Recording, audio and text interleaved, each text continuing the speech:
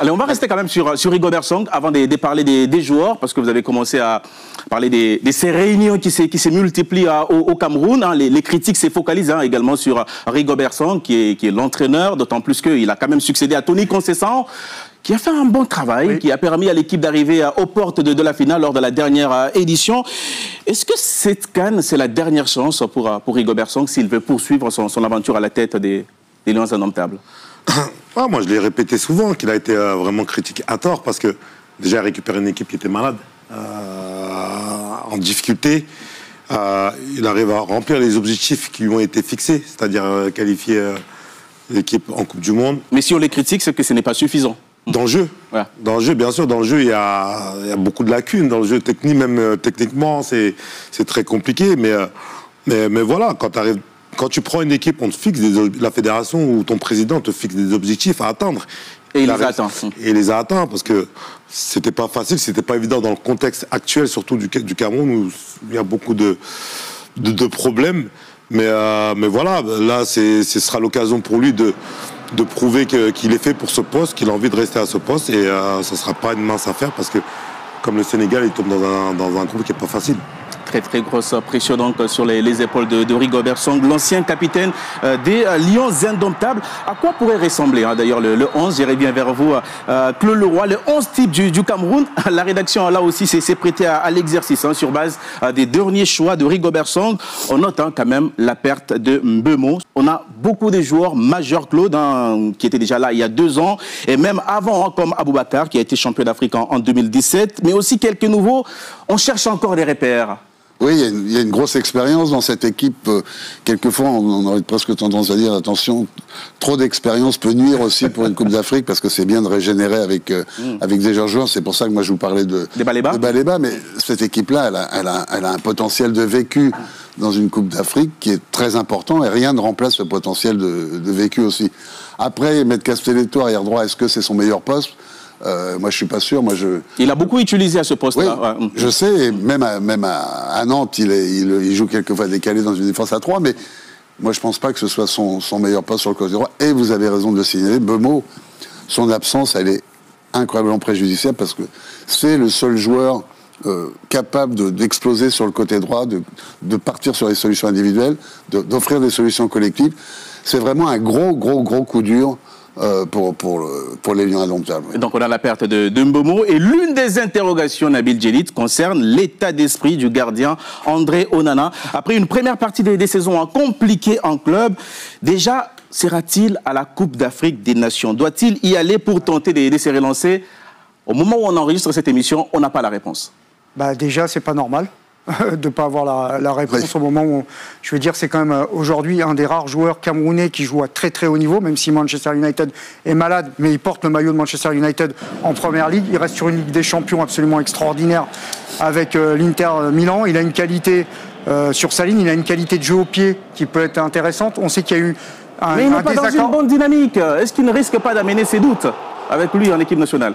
Non, je pense pas. Moi, je pense au contraire que quand il, quand, au contraire, tout à l'heure, euh, Claude parlait du fait que quand parfois on change de contexte, dans un environnement plus favorable, peut-être dans un état d'esprit plus famille en sélection nationale. Mais sauf que lui, il est pas. Alors, avec il... l'équipe nationale, ça n'a jamais été ouais, un, mais... long fleuve tranquille. Hein. Oui, mais c'est va... un, un, environnement compliqué un... pour ouais, lui. Mais c'est quand même un compétiteur, c'est un grand gardien, et c'est quelqu'un qui va quand même vouloir briller et, et marquer de, de, sa présence. On sait qu'il y a une adéquation euh, tactique avec euh, avec Rigobert Song la dernière fois, parce que Rigobert Song voulait jouer euh, assez bas, parce qu'à Nkoulou, vous ne pouvez pas jouer trop haut, puisque s'il jouait trop haut, il pouvait se prendre dans le dos. Là, il a vous redessiné. Parlez des, vous parlez a... des frictions à la Coupe du Monde bah, Évidemment, de toute ouais. façon, on sait très bien tout ce qui s'est passé, c'est une notoriété publique. De toute façon, il a quitté la sélection parce qu'il n'était pas d'accord avec son sélectionneur, notamment sur la charnière centrale euh, qui était devant lui. Là, ils l'ont redessiné, il a décalé Castelletto à droite et il a mis euh, Wu, qui est plus jeune, le René. Qui va plus à, vite. Ouais, qui va plus vite. Gonzalez, que j'ai vu avec Ajaccio, bon, c'est un, un, un, bon défenseur. Mais il y a aujourd'hui, y a Onana, il y a Zambo Anguissa. Et il y a Aboubacar, c'est la colonne vertébrale, et c'est un peu les trois stars de cette équipe. Toko et Kambi. Et, et, Toko et Kambi, mais qui est, bon, qui ouais. est parti en Arabie Saoudite. Après, il y a un facteur X, on n'en a pas parlé, peut-être, on le verra. Il est en train de faire des choses extraordinaires euh, en Arabie Saoudite. Il vit une deuxième, une deuxième carrière. C'est Nkoudou qui ouais. pourrait remplacer ouais. poste pour poste Mbemo. voilà, pour euh, ces concernant le, Cameroun. On pourrait en parler des, des heures et des heures. Non, mais hein. c'est la deuxième pas trop longtemps comme ça parce que ça rappelle des mauvais Les gens sont un peu sévères avec lui parce qu'on ne voit que les deux buts qu'il a pris contre Galatasaray et le Bayern. Mm. Deux buts casquettes.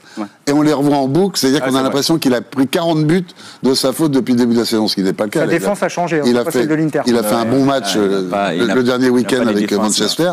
Maintenant, c'est un problème psychologique d'intégration dans le groupe, de relation avec Rigaud. Euh, c'est vrai qu'on doit euh, a toujours été un peu le porte-bonheur. Vainqueur de la Cannes 2017. Cette équipe des Lions. Donc, euh, bien évidemment, c'est pas facile, même pour lui. Ça n'est pas facile. La liste de Rigobert continue de faire polémique et on va en parler. Salut toi et bienvenue dans cette vidéo. Dans cette vidéo, on va parler de la liste de Rigobert Et avant de commencer, si tu me découvres à travers cette vidéo, ici on parle de foot, ici on n'est pas, on parle de foot. Donc, si tu es intéressé par la thématique, si la thématique te parle, n'hésite pas à t'abonner, d'activer la cloche de notification pour ne rien manquer des prochaines vidéos. Si c'est fait, on est parti. Alors, la liste de Maniang, Rigobert Sombahana continue de faire polémique. Beaucoup de personnes se posent la question pourquoi euh, il a appelé quatre gardiens, pourquoi il n'a pas appelé pour moting? Bref, déjà les amis, là où je ne suis pas trop d'accord avec Rigobert c'est quatre gardiens. Quatre gardiens, pourquoi il appelle quatre gardiens? Déjà, même pour que le deuxième gardien joue, c'est un espoir. Pour que le deuxième gardien joue dans une compétition, c'est un espoir. Je n'en parle même pas du troisième gardien. Je n'en parle même pas du troisième gardien. Lui, il a choisi quatre. Je ne sais pas quoi c'est le quatrième gardien. Peut-être il sera là pour ramasser les balles, etc. Bref, pour moi, le quatrième gardien ne fait à rien c'est un poste gâché. Il pouvait remplacer ce quatrième gardien peut-être avec un avant-centre parce que je trouve qu'on manque cruellement d'avant-centre, d'expérience, je trouve. Donc, euh, en défense, je trouve que sa défense est bonne. Il a payé les meilleurs, les meilleurs son poste. Donc, en défense, il n'y a rien à dire. Au milieu, selon moi, il y a également rien à dire parce que je trouve que euh, ça va jouer avec Olivier Ntiam et Olivier Kemen. Donc, euh, c'est un milieu qui tient la route. C'est en attaque, les amis. L'attaque m'inquiète. L'attaque m'inquiète. Tu as un seul jeu d'expérience, Vincent Aboubaka, Abouchou. Abouchou, les amis. Abouchou, c'est notre seul jeu d'expérience. Donc, euh, si les Bissons fait comment? Si les Bissons fait comment? Si euh, il moins bien, on fait comment? Bah, je ne sais pas. Est-ce que Rigobert il a pensé à ça? Si Abouchou est moins bien, s'il se blesse, on fait comment? On va galérer. Lorsque moi je regarde sur le banc, il n'y a pas vraiment un avant-centre de qualité, d'expérience et tout, vu qu'il n'a pas appelé Choupo-Moting. Il n'a pas appelé Choupo-Moting et lorsque tu vois sur le banc, il n'y a pas vraiment un avant-centre d'expérience. Il n'y en a pas. Il n'y en a pas. Pour moi, c'est problématique. Parce qu'il y aura des matchs compliqués. C'est-à-dire quoi? C'est-à-dire, tu auras besoin d'un but il te faudra un avant-centre pour appuyer Vincent Obaka. Et pour l'instant, tu n'as pas. Ce n'est pas que pour l'instant, tu n'as pas d'avant-centre pour appuyer Vincent Obaka. Tu n'as pas d'avant-centre. Comment tu vas faire? Comment tu vas gérer ça? Et ça, c'est le cas le moins grave. Le pire cas, ça sera si Vincent Obaka se blesse. C'est game over pour nous. Hein. C'est game over, les gars. Qui va le remplacer? Qui va le remplacer? Vu que tu n'as pas appelé Choupo-Moting, tu n'as pas appelé Jean-Pierre Samé qui va remplacer Abouchou Il n'y en a personne. Pour moi, le secteur qui m'inquiète le plus, c'est le secteur d'avant-centre, le neuf. On a un seul neuf d'expérience.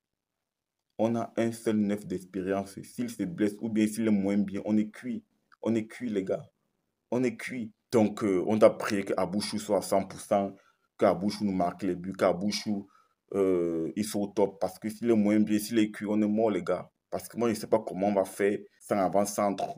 Tu n'appelles pas Jean-Pierre Sam, tu n'appelles pas. Chupomochi, euh, on dit qu'il trie ses matchs. On dit qu'il trie ses matchs.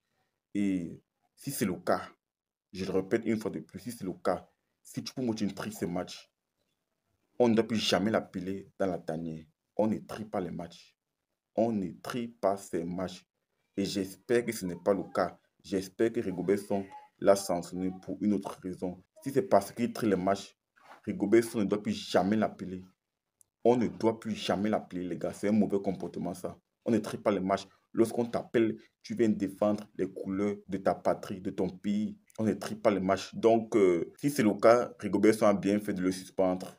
Si ce n'est pas le cas, franchement, Rigobert s'est planté parce que Choupo-Moting, il apporte de l'expérience, du vécu. Donc, euh, c'est un jeu qui va beaucoup manquer. Mais j'ose croire que si Rigobert l'a mis de côté, c'est parce qu'il n'a pas respecté l'institution. Il n'a pas respecté le pays, il n'a pas respecté le maillot. Parce que je ne vois pas un coach se priver d'un jeu aussi talentueux que Choupo-Moting, un jeu d'aussi, un jeu qui a beaucoup d'expérience comme Choupo-Moting.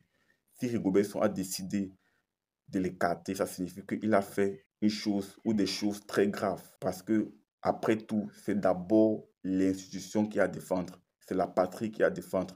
Donc, les amis, moi, je pense qu'on n'a pas d'avant-centre. On n'a pas la double de Vincent Boubacar. Si Vincent Abouaka se blesse, on est cuit, on est mort. Qui va le remplacer? Qui va le remplacer? Tous les jeunes là, en avant-centre, là, c'est les jeunes. Ce sont des jeunes qui n'ont pas d'expérience, qui n'ont pas de vécu et tout. Donc, euh, prions qu'Abouchou soit en fond, prions qu'Abouchou soit à 100%. Et franchement, Rigobert prend un très gros risque il prend vraiment un très gros risque en partant avec un avant-centre d'expérience, de qualité. Après, partage votre ressenti en commentaire sur la thématique. Et si ce n'est pas encore fait, n'hésitez pas à t'abonner, d'activer la cloche de notification pour ne rien manquer des prochaines vidéos. On se dit à très bientôt pour notre vidéo, les amis. Ciao, ciao.